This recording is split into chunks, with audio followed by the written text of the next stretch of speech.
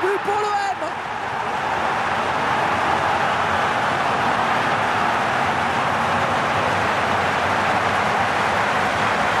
ah, Regardez un peu la puissance de ce ballon.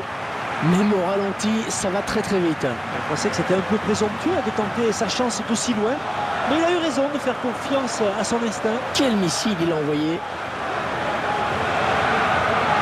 On revoit ce but sous un autre angle.